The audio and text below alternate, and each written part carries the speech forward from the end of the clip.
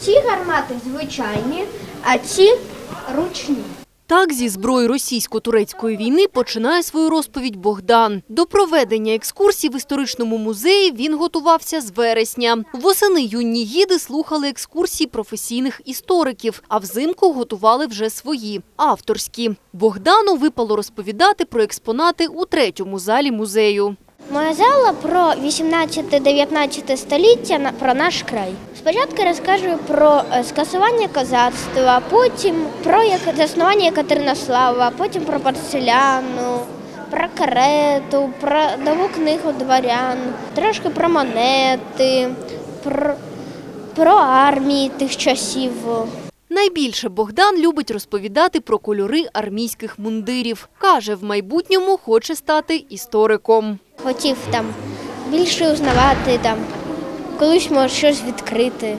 Вперше провести подібну дитячу екскурсію в історичному музеї спробували торік. У нас в музеї працює студія е, зліплення, жива глина, і ми вирішили саме з цими дітьми підготувати до дня екскурсовода дитячу екскурсію. Але тоді проєкт ще не дозрів, каже кураторка. Цьогоріч готувалися заздалегідь, і дітей навчати вирішили усім науковим колективом. Авторські екскурсії доповнили віршами, танцями і театралізованими сценками. Юних екскурсоводів, як Богдан, цього разу восьмеро, по одному на кожну залу музею. Нікому не подобалася четверта зала. Це була проблема, бо це промисловість. Знаєте, як на дитячу душу, це не так воно цікаво. Але в нас знайшовся справжній чоловік, який закрив собою ось цю прогалину. Справжньому чоловікові просто у день екскурсії виповнилося 10 років. У мене четвертий зал, всі приходять такі усталі,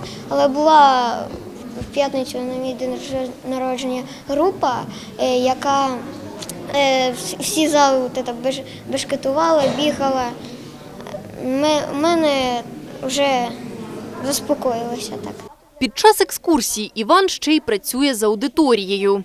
Запитую запитання, щоб не просто я розповідав, е, тицяв указкою і все, нічого іншого. Ну я просто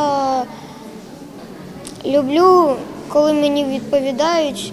Так музей провів 6 годинних екскурсій. Дитячою динамікою гості музею задоволені.